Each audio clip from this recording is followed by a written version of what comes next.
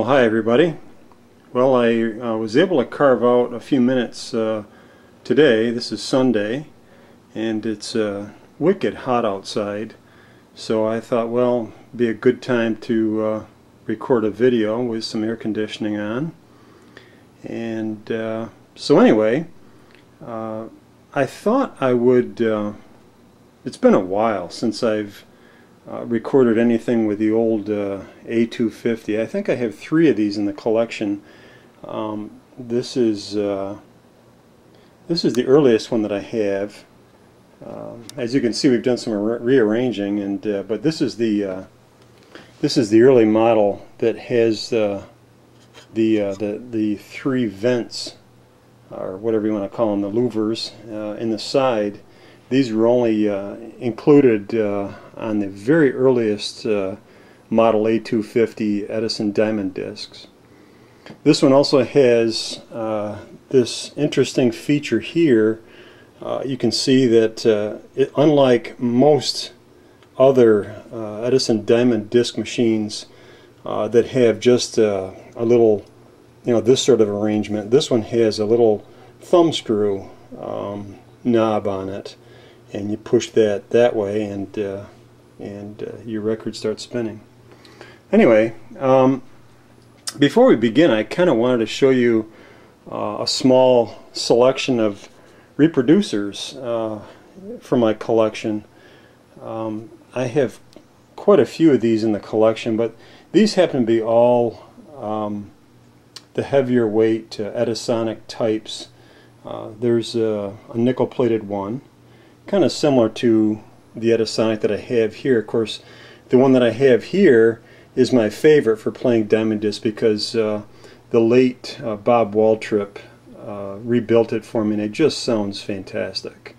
Uh, so it's my preference. Um, but I've rebuilt all the rest of these here myself, but um, in all honesty, my uh, rebuilding skills on reproducers uh, pales uh, quite a bit in uh, comparison to Bob Waltrip's. Anyway, so here's a nickel-plated uh, Edisonic. And this, of course, is the uh, hard-to-find uh, dance reproducer. These were released for public sale pretty briefly. Um, they have some neat innovations that I won't go into here, but in my my opinion, the dance reproducer sounds nominally, minimally, let's say, uh, better than say uh, this one here above it. Uh, it's it's neat, you know, and uh, but I don't really notice an awful lot of difference between the regular Edisonic and the dance reproducer. But they are hard to find, and they're pretty neat looking with this extra uh, flange here. Okay. Here is a uh, what's called a gunmetal finish uh, Edisonic. These came standard equipment with the uh, the late uh, long play uh, Edisonic uh, um, models. You know, like the uh, the C4, C3.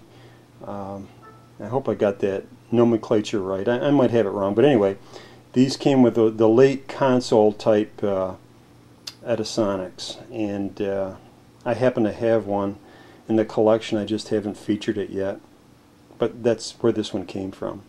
These came with a long, the long play Edisonic uh, the, the long play um, diamond disc phonographs came with this reproducer and then they came with the standard gunmetal reproducer which has the smaller weight and then they had the the reproducer that has the very tiny um, stylus, diamond stylus that plays.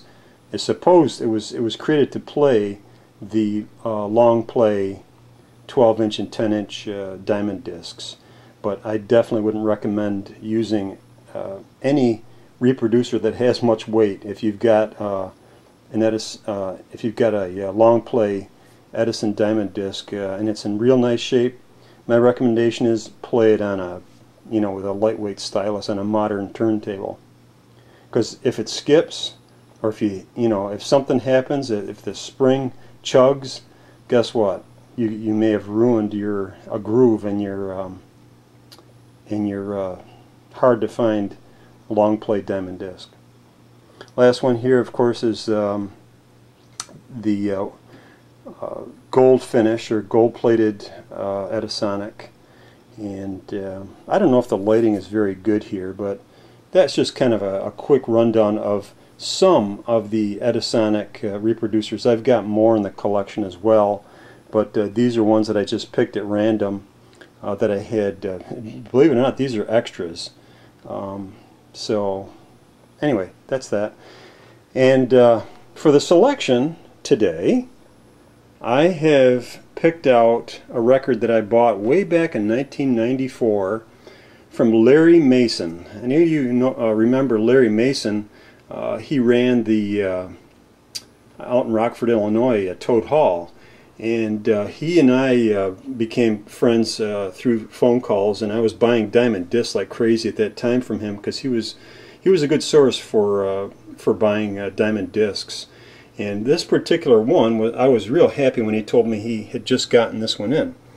Uh, this is the Varsity Drag by Ernie Golden and his Hotel McAlpin Orchestra, uh, number 52109.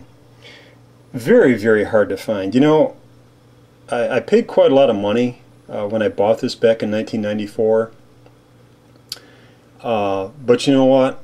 I it's paid for itself many times because I haven't found a copy in the wild. And by the wild, I mean, you know, by going to antique shops, flea markets, uh, you know, antique shows, whatever, word of mouth. Never have I found another copy of the Varsity Drag uh, on Edison Diamond Disc. This is the sole copy. Thankfully, it's, a, it's in real nice shape.